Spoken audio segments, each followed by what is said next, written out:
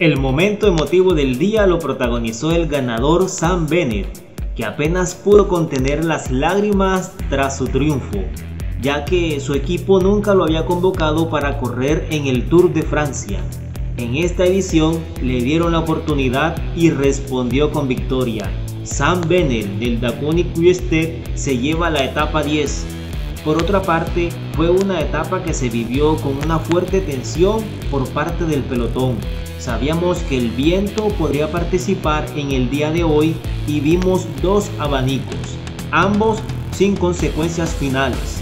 También se presentaron varias caídas donde se vieron implicados corredores como Tadej Pogacar, que es séptimo en la general a 44 segundos, Julián Alaphilippe, Superman López, Richard Carapaz y Guillaume Martin, que está en el podio en el tercer lugar a 28 segundos pero al final de etapa todos estos corredores de la general salvaron un día que pudo complicarse. A continuación los dejo con la entrevista del ganador de etapa y seguido con todas las clasificaciones de este Tour de Francia 2020. Hasta la próxima. ¿Cuáles son las emociones que te causa estar aquí como ganador? Apenas me estoy digiriendo el momento. Eh, pensé que a lo mejor me había ganado la línea, Caleb Iwan. Pensé que no había lanzado bien la, la bicicleta. Casi iba a llorar finalmente. estoy en shock todavía. Pero ya ganaste, ya ganaste.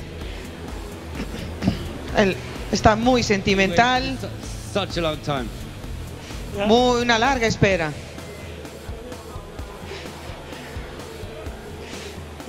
No puede.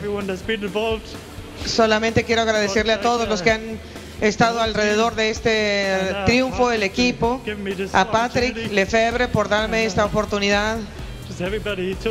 Y a todos, todos en este año, a mi esposa, a todos los que me rodean. No puede más. Fue muy difícil conseguirla, sinceramente. Uno la sueña, pero parece que nunca va a suceder. Y cuando sucede, no sé. me, tomó mucho, mucho tiempo en llegar aquí. La batalla con Caleb Ewan al final. Todavía faltaba mucho cuando decidí lanzarme. Uh, y yo pensé que a lo mejor estaba en una relación muy grande, pero no lo sé. Más especial de lo que él esperaba. No quiero, no quiero ser grosero ni, ni mucho menos, pero es que no puedo hablar.